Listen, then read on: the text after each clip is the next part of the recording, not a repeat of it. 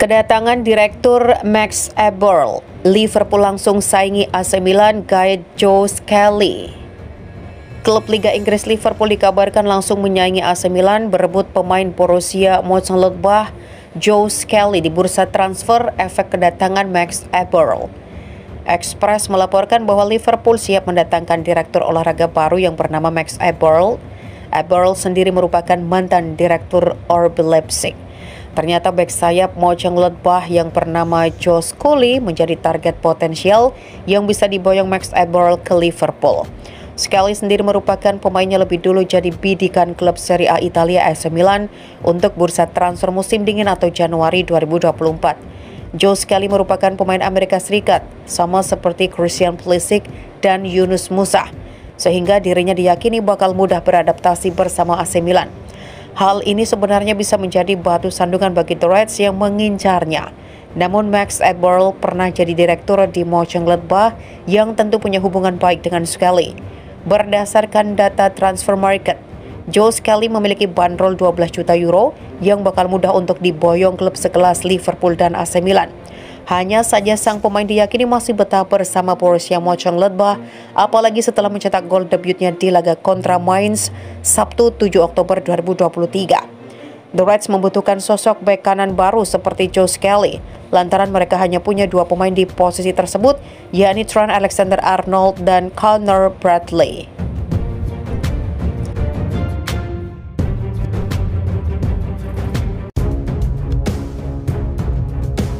Jared Bowen bukan pengganti sepadan Mohamed Salah di Liverpool.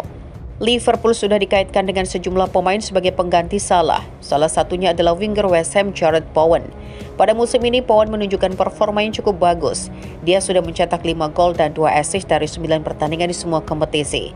Bowen memang tampil bagus bersama West Ham.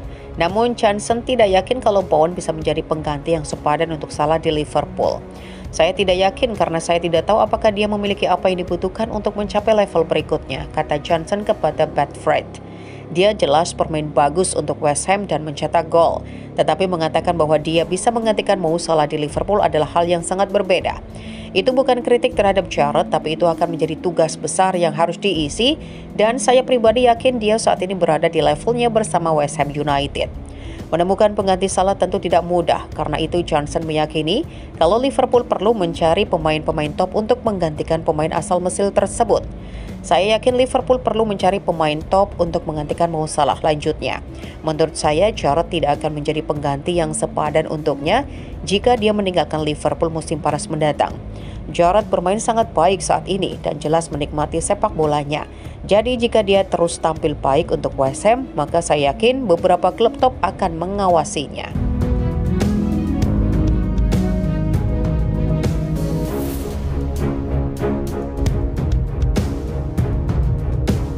Melepas Sadio Mane, Liverpool disebut sudah menjual pemain yang lebih bagus ketimbang Mo Salah. Mantan pemain sepak bola asal Nigeria sekaligus komentator Ivan Ekoku membahas kembali soal Sadio Mane yang meninggalkan Liverpool tahun lalu. Kepergian Mane dari Liverpool masih terus diperbincangkan meski dia sudah pindah ke Bayern Munich lalu ke Al Nassr hanya dalam kurun waktu satu tahun. Hengkangnya winger asal Senegal itu menjadi bagian dari begitu banyaknya perubahan yang terjadi di tubuh Liverpool. Skuad yang membawa The Reds meraih juara Liga Champions 2019 kini telah terpreteli dan hanya sisa sedikit yang masih bertahan. Pemain dengan tinggi badan 175 cm itu meninggalkan Anfield Stadium dan pindah ke Bayern Munich pada musim panas 2022. Kepergiannya diyakini menjadi salah satu faktor penyebab menurunnya performa Liverpool pada musim 2022-2023 lalu. Menurut Ivan, Sadio Mane sebenarnya adalah pemain yang lebih baik untuk The Reds daripada Mo Salah. Ivan pun menambahkan akan ada banyak orang di dunia sepak bola yang setuju dengan klaimnya ini.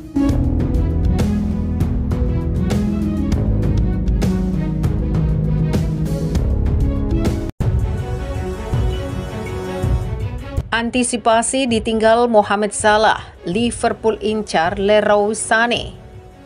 Liverpool dikabarkan mengincar pemain Bayern Munchen Leroy Sané sebagai pengganti Mohamed Salah. Salah yang berkostum The Reds pada 2017 banyak dikaitkan dengan kepindahan ke Liga Pro Arab Saudi. Sisa kontrak Salah bersama Liverpool tinggal dua tahun lagi dan diyakini akan menarik minat dari klub Arab Saudi pada musim panas mendatang. Laporan tersebut mengklaim bahwa Liverpool bersedia memecahkan rekor transfer klub untuk membawa Sane kembali ke Liga Inggris. Pemain timnas Jerman itu mencetak 39 gol dan 46 assist dalam 135 pertandingan untuk Manchester City sebelum ia pindah ke Bayern Munchen pada 2020. Ketika berkostum The Citizens, ia memenangkan dua gelar Liga Inggris, dua Piala Liga dan satu trofi Piala FA. Selain Liverpool, Real Madrid juga kabarnya mengincar Sane. Pemain berusia 27 tahun itu terikat kontrak dengan Bayern Munchen hingga Juni 2025. Ia mencetak 7 gol dalam 11 penampilan kompetitif awal musim ini.